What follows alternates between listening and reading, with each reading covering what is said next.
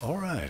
If you have your Bibles, and I hope you have, the Word of God, I want you to turn with me to the book of, uh, let me find it here now.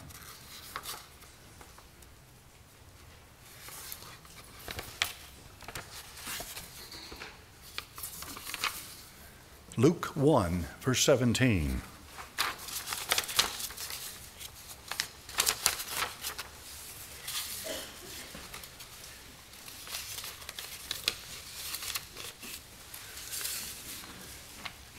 Luke chapter number 1 and verse number 17.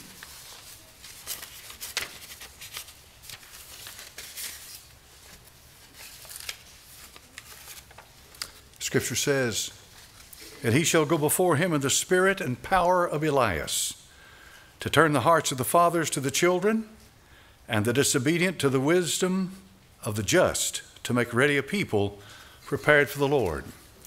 Father, bless this holy word now. Thy name I pray. Amen. You can be seated, folks. John the Baptist, as you know, he's called the Baptist because he's the baptizer. I know some Baptist writers say he was the first Baptist in the Baptist church. Uh, I certainly don't agree with that, but in any event, John him, said of himself, he says, I am friend of the bridegroom. I'm looking as far as I can go. The law and the prophets were until John, but since that time the kingdom of God is preached, every man presseth into it. John the Baptist was two things the end of an old era and the, the precursor or the forerunner of a new era. And so John fits the gap, uh, the gap between the two. And it says here in Luke chapter number 1 and verse 17 about John said he will go in the spirit and power of Elias. Now that's a prophecy, but why would they say that? Why is it necessary to say the spirit and power of Elias? The reason for that is because John's going to be connected with Elijah the prophet.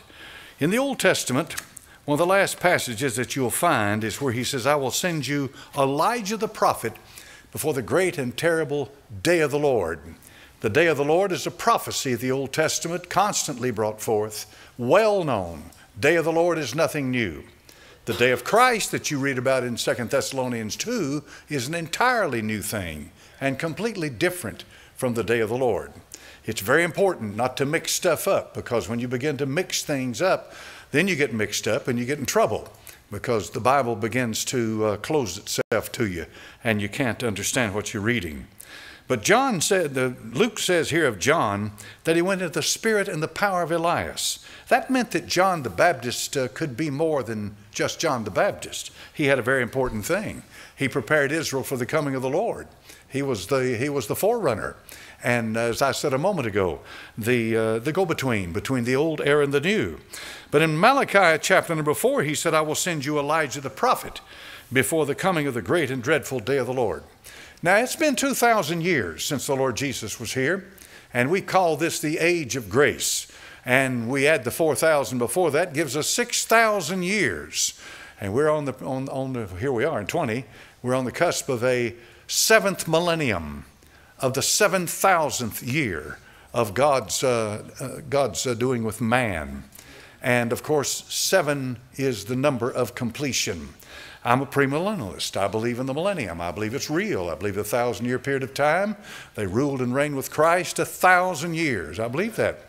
Now, this is what's called eschatology. When you get into the reign of Christ, you get into the rapture, of the church of God, or you get into the kingdom of God, and all these things, they lead up to what's called eschatology. The Greek word eschatos means last or the end. So, eschatology is the doctrine of the last things or the things that end or the day of the Lord. So, John the Baptist fits into a unique place in Scripture. And if you'll follow him with me tonight, I believe we can really get a hold of something that can open up the New Testament. It's important. When I first got saved, I really didn't have a mentor to help me uh, lay down and understand the things that I'm giving you tonight.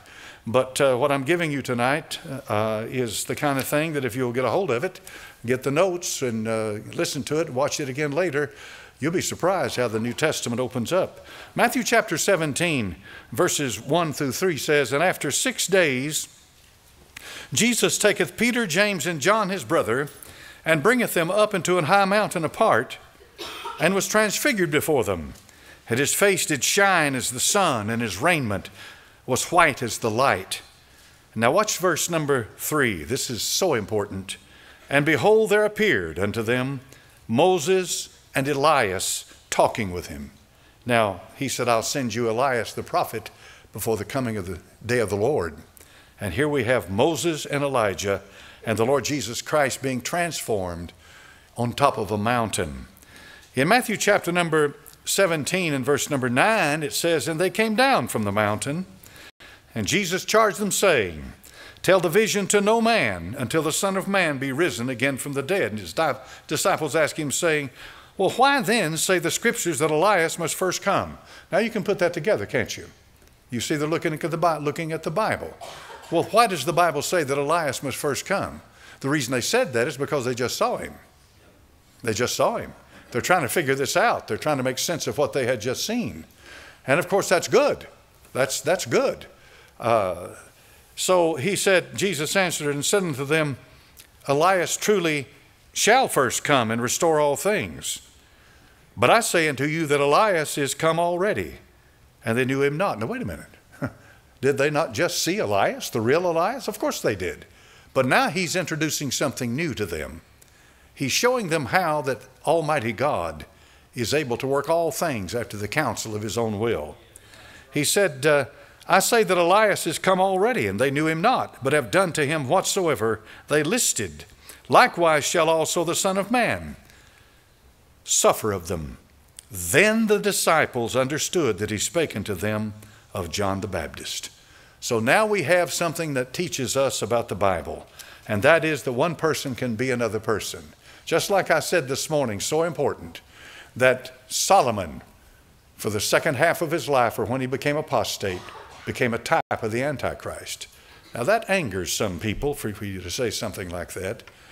But, folks, did you know how many people are out there in this world right now that study their Bible that believe that Solomon went to hell? See how quiet it is in here? When you read about David, you read where he repented, don't you? He repented, no question about it. Solomon is kind of a tacit thing. In other words, it's, uh, it, it, it, alludes to it, but there's no direct statement in the Bible where he did. Now, let me say this tonight. I do not believe Solomon went to hell. I don't believe that for a minute. But why would people say that? They will say that because his apostasy was as deep as it gets. He was, it was as bad as it can come. Little babies died in the arms of Moloch. They died he destroyed the kingdom that David had built. He destroyed it. When Solomon died, the kingdom was split, and Rehoboam, his son, reigned in its stead, but only over two tribes. And ten in the north, uh, Jeroboam took these ten. And of course, it was apostate from the start and stayed apostate. Never did serve uh, the Lord God. Hezekiah and Josiah were two fine kings of the southern kingdom. They loved the Lord and they served the Lord in their lifetime. So, what I'm trying to say to you tonight is that uh, this is not a condemnation of Solomon, it's simply an observation. You learn a lot by observing. Simply observe, read, pray. Lord, show me what's going on here. And you'll find that John the Baptist now could have been Elijah. Well, why would he have been Elijah? Why was that necessary? It was necessary to fulfill the prophecy that Elijah must first come. And he did, of course, did come. He came in the person of John the Baptist. Now, this presents a problem for us tonight to try to figure this out. We've had 2,000 years of church history, haven't we? 2,000 years. Go to the Old Testament and find that for me, if you would, please. You won't. You won't. You won't. You'll find the church in type, but that's about as far as it goes. The Apostle Peter talked about the church. He talked about the believers, and he said, These men of God, uh, they, they sought they, to look into this wisdom and to know it, and they couldn't do it. That it wasn't to be revealed in their time, but later. They searched the scriptures, and yet it wasn't there. The Apostle Peter says that there are certain scriptures that are hard to be understood. And he meant that. He meant that. The Bible is the kind of book that rewards you for a lifetime of study. Yes. Amen. Yes. Say that again. It's the kind of book that rewards you for a lifetime of study.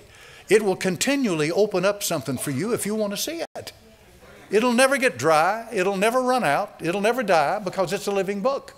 and you can spend your life studying the Bible, and until the day you draw your last breath of air, you marvel at the book you have in your hand.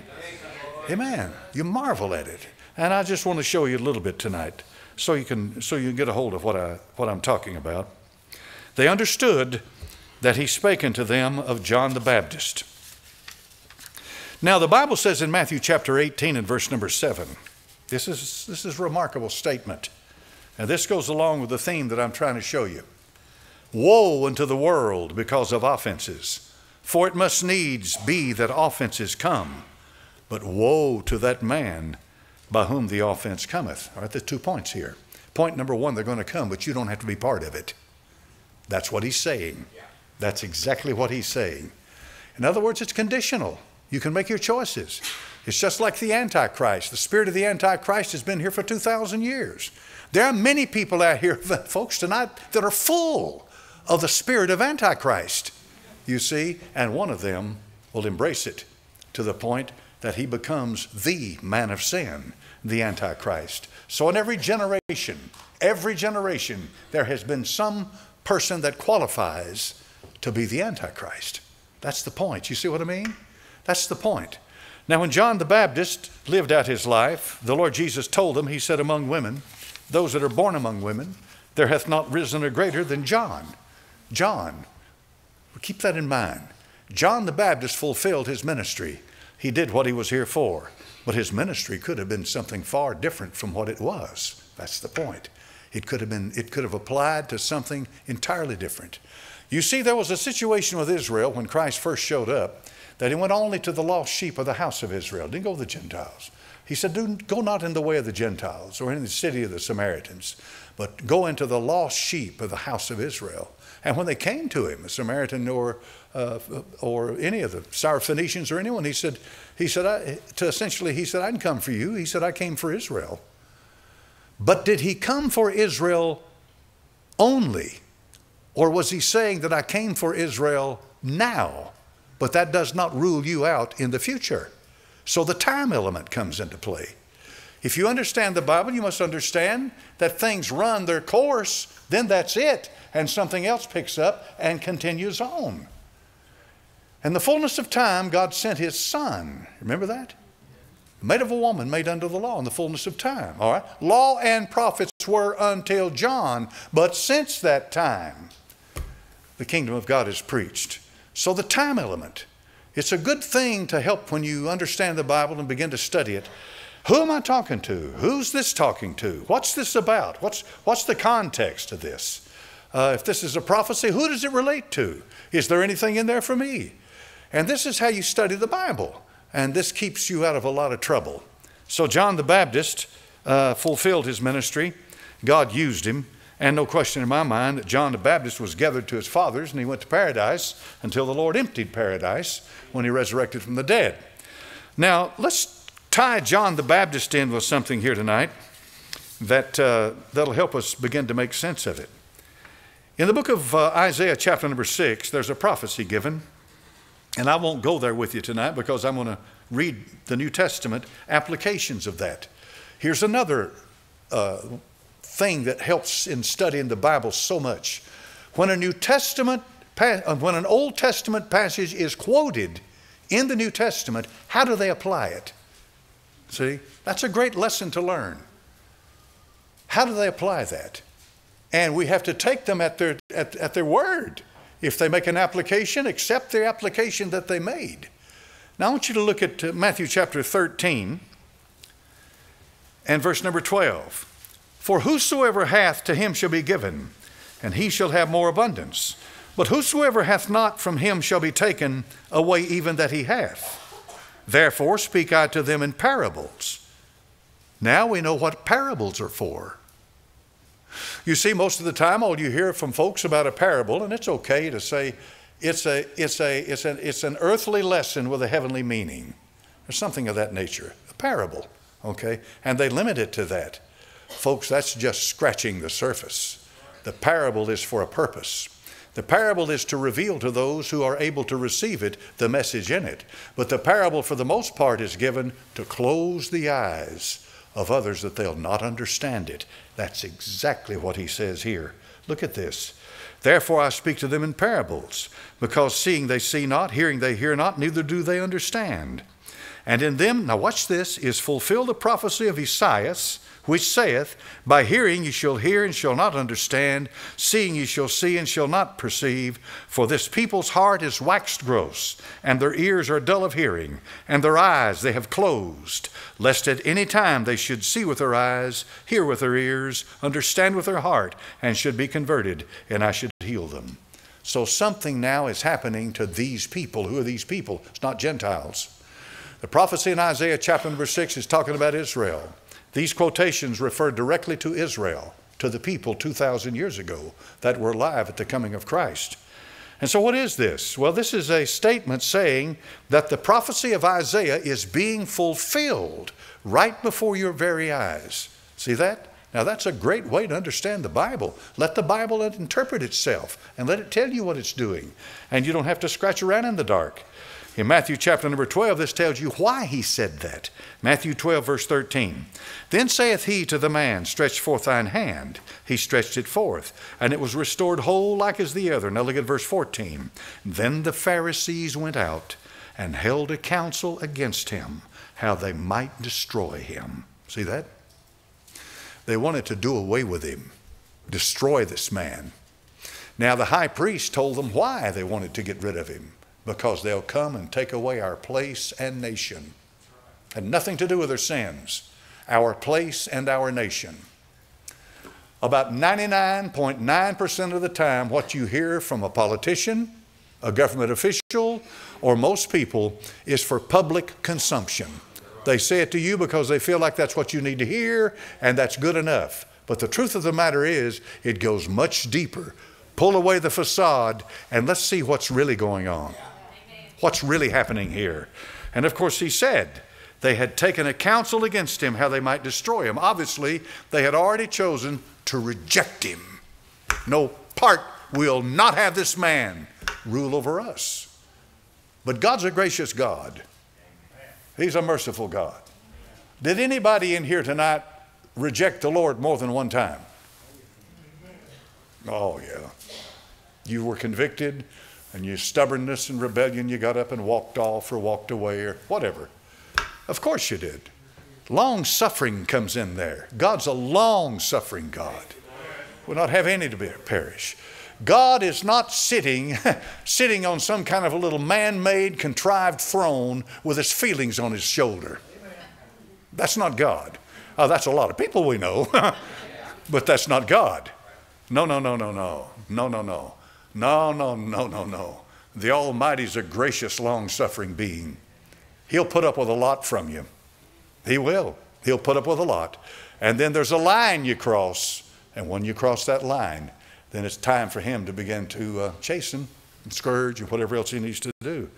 Now, I want you to look again. They quote this scripture in John chapter number 12 and verse number 37. They quote Isaiah 6 again. The fact of the matter is, how many has ever heard of Ethelbert Bullinger and his companion Bible? All right. It's an outstanding book. Now, there are things that Brother Bullinger says that I don't agree with. It's like anything, you know, you recommend. You're not saying carte blanche, I agree with everything they say. No. But you point them to something that can be very helpful. When I got a hold of the companion Bible by, by Ethelbert Bullinger, and got into his interpretation of Isaiah 6 and the notes that he made, it began to open up the New Testament for me. And that was about 30 years ago, 35, maybe 40 years ago. It's been a long time. But it began to open the Bible. And you would believe, like in the two on the road to Emmaus, how it excited me. I mean, it renewed a fire in me to study the Word of God because the Bible is not written on a first grade level to first graders although there's much in there that they can, they can get from it. The Bible is written that you may spiritually discern it because of the living word that you're taking into your heart. If the word's alive, that means it can interpret what you're reading of itself. Amen? Amen. Yes. So look at Matthew chapter number, uh, John 12 rather. But though he had done, verse 37, but though he had done so many miracles before them, yet they believed not on him. See, and John, theme of John is believe. But that the saying of Esaias the prophet, now look at this, he's quoting Isaiah 6, might be fulfilled, which he spake, Lord, who hath believed our report?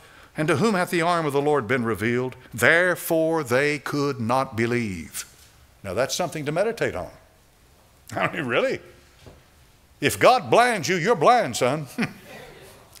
Amen. If He closes the door, the door's closed. That's right. If the Holy Ghost departs, He's gone.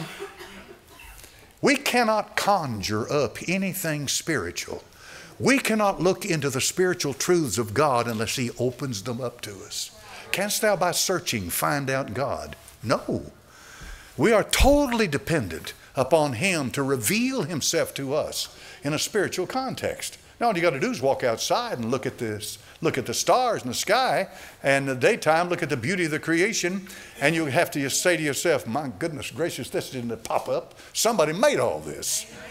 All right, that's what's called the teleological argument of the existence of God. Here it is. Somebody made it. This exists. Somebody had to make this. This didn't come of his own. I've got a watch on my hand right here. This watch was not, didn't just all of a sudden, boom, came into being. Somebody, over centuries, no question, worked and worked and worked and essentially perfected the watch. And now, of course, the one I've got on, I don't even have to wind. All you got to do is stick a battery in it. And it's like that automobile you're going to go out and get in out there. I was a professional mechanic for years. I understand a lot about what makes that thing tick. But anymore, the new automobiles, I look at it and I think, good night, man, there's more computer here than there is car. so it's hard to know where to start. But somebody a lot bigger than us made all this. Amen. So they could not believe because the Isaiah said again, he hath blinded their eyes, hardened their heart, that they should not see with their eyes, understand with their heart, and be converted. I should heal them. These things said Esaias when he saw his glory and spake of him. This is in reference to John 11, where it says, They took counsel together for to put him to death. Now, here's what he's saying. He's saying these people have the word, they've got the light, they've got privilege, and the Jew did. They've got the Bible, the oracles of God, they've got the light, they've got all of this, yet in spite of all of this, they refuse to believe. But I want you to look at Romans 11, verse 1.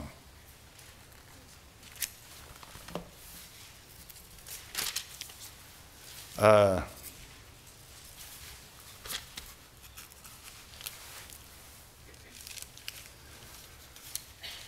verse 1. Saul, Paul, Saul of Tarsus, Paul, starts out the 11th chapter of Romans by asking a question. Now look at it. I say then, hath God cast away his people? God forbid. For I also am an Israelite of the seed of Abraham, of the tribe of Benjamin. God hath not cast away his people, which what? He foreknew. Watch ye not what the scripture saith? Elias how he maketh intercession to God against Israel, for Israel. Elijah, in the sight of God, is the prophet that represents Israel. Okay? That's him. He's Israel's prophet. You remember the Mount Carmel, the prophets of Baal, all that? This is, this is Elijah's unique position. This is why he showed up on top of that mountain with Moses, because they were showing up, they were there to represent Israel, the ministry to Israel, the prophecy to Israel, and all of that. This is why I believe that Moses and Elijah are the two witnesses of Revelation chapter number 11. You know, and I'm not going to argue with a man over that. And, you know, if you fall out over that, that's okay. But that's who I believe it is Moses and Elijah. Why? Because they are witnessing to, not the church, Israel. That's right. That's what they're here for. So the scripture says they took counsel to put him to death. As the truth of the matter is, every time I find the word counsel in the Bible, it's in a bad connotation. Amen. That's why we don't have any councils here. we don't want to start any councils, do we? councils are not a good thing. Now, I want you to notice the next time is in Acts chapter 28, verse 25. Now, these are progressive and they are bringing us to a point. Acts 28, 25. When they agreed not among themselves, they departed. After that, Paul had spoken one word Well spake the Holy Ghost by Esaias the prophet unto our fathers. Stop there for just a moment. If you get Bullinger's book, Companion Bible, you'll find where he says this scripture is quoted seven times, then he makes three applications, and in each one of those three, one of them is speaking, Jehovah speaking, the other one, the Son is speaking, and the other one, the Holy Ghost is speaking. That includes the full body of the Trinity. And look what we just read here in, in, uh, in uh, Acts chapter number 25. Well spake who? The Holy Ghost. See this? By Esaias unto our fathers. Go unto this people, saying, Hear ye shall hear, shall not understand, seeing ye shall see and perceive, and not perceive. For the heart of this people is waxed gross, their ears are dull of hearing, their eyes have they closed, lest they should see with their eyes, hear with their ears, understand with their hearts, should be converted, I should heal them. Be it known, therefore, to you, to the salvation of God is sent unto the what? Gentiles. Can Jews be saved? Well, of course they can. What he's talking about is the main force, the thrust, the purpose. What this Bible has brought us to the point now it is about to the Gentiles. And lo and behold, when he saved Saul of Tarsus, what did he say that he was going to do? His ministry would be to the what? Gentiles. And he was. He was. He wrote that New Testament, and he wrote that New Testament to the church at Galatia, Ephesus, Thessalonica. See, on and on it goes. Philippi, Gentiles and he was the minister to the Gentiles. The churches were built, Gentile churches, and this is the purpose of Paul. Before he shows up, there's something else that's got to happen. Now, you'll find here that they're blinded. Now, I want you to look at something that he says over here in the book of Romans, the Apostle Paul. Romans chapter number 11, verse 33. Romans 11:33. Paul was an educated man. He sat at the feet of Gamaliel. The Apostle Peter was a fisherman. Okay? He was not educated like Paul. Now, stop right now. But he wrote scripture and he was inspired of God when he wrote it. In other words, the book of First Peter is on the same level as Ephesus, uh, Ephesians or any of the rest of them. You see what I'm saying? We're not talking about man's ability. But the point is this Saul of Tarsus was educated. And he says right here, Oh, the depths, Romans 11 33. Oh, the depths of the riches, both of the wisdom and knowledge of God. How unsearchable are his judgments, and his ways past finding out. For who hath known the mind of the Lord? Or who hath been his counselor? Or who hath first given to him? And it shall be recompensed to him again. Now, watch this. For of him, and through him, and to him are all things, to whom be glory forever. Amen. That's something. I would, for young people to memorize the scripture, that'd be one of the first I'd memorize. Of him, through him, and to him are all things. He worketh all things after the counsel of his own will. Though it appears like a complete failure, there's no failure involved. That's simply the way God did it at the time for a purpose. He does not fail. He cannot fail. It's impossible for God to fail. For example, the Bible said when he came into this world, he tasted death for every man. Now that's a strange thing. When the Lord takes me from this body, I won't be tasting death. This flesh, it will be finished and my soul and my spirit will depart, right? Okay. But the Bible says he took upon him uh, when he was when he was when he was uh, incarnate. He likewise took part of the same, referring to the incarnation, right? Part of the same. Now this is what I want to make. I just tonight. This is what I want you to. I want to make you think. When he died on that cross, his body died. His body was dead. No question about it. They shoved that spear in his side. He was dead. They laid him in a tomb. He was dead. They sealed it with a stone. He was dead. For three days, his body lay in that tomb. But what about his soul and spirit? He said, Father, speaking, into thy hands I do what? Commend my spirit. The Apostle Peter says that he descended into the lower parts of the earth and he had something to declare. That's his soul. All right. There's the three parts that make up the incarnate God, the Lord Jesus Christ. Okay? But now, in your case, when you die, it's not going to be exactly like him. You don't have the power to bring your spirit back into your body, but he did. He could call his spirit back. And when he called his spirit back, he himself, by his own intelligence and his own being, entered back into that body. I can't do that. I can't do that. So, in plain words, death, he approached death, entered into death, death took its toll, but death did not have a complete grasp upon him.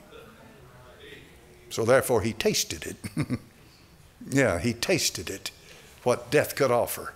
And the death, the dying of Christ, was the death of all deaths, the greatest death there was. And so when the Lord Jesus Christ arose from the dead, death, death died. Amen. Death died. And you no longer fear death. Hallelujah to God. He that liveth, he that liveth in me shall what? Never die. Amen. So that's just a, a few little things there to kind of help us along the way. But I want you to, I want you to see something else. And I, this is what I love about, about the Apostle Paul. He says things and expects you, once you read it, to say, Lord, now, this man here said this. What, what's going on here? What does this mean? Because the Bible says my life is hid with Christ in God. Paul said that. He said that. My life is hid with Christ in God. The Apostle Paul said things that they're powerful and wonderful when he says them, but you, you, there's nothing to relate it to on this earth. You have to relate, you have to get the wisdom from God. So of him, he's the source of all. Mm-hmm. All. All. All. I heard no boy say one time, What does the word all mean? And they said, All. He said, That's right. All. For of him, therefore, all right, of him, all things. And like in Isaiah 45, when he said, I create evil, okay, he's not the source of evil, but he's the source of the ability for it to come into existence with that anointed cherub that covereth. All right. But he said, through him, all right, Paul said, through him.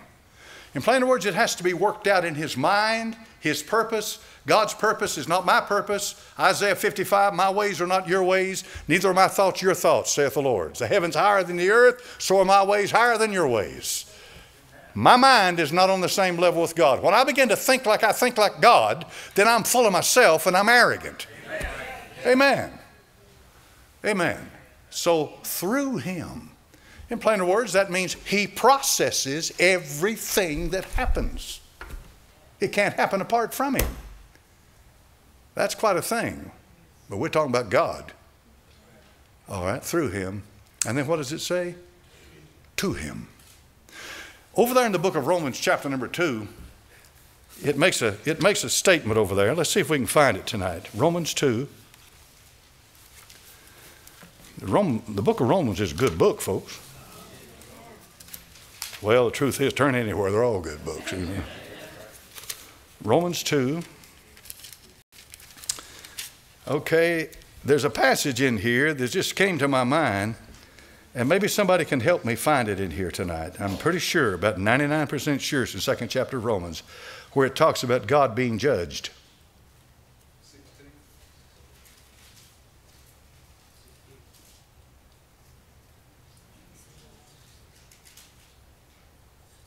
That's when, that's when they, he judges the secrets of men. It says, When thou art judged,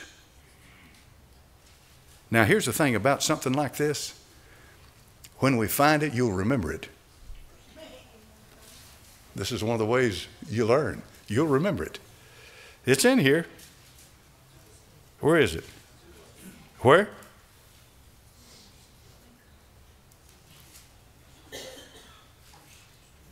No, that's not it. What?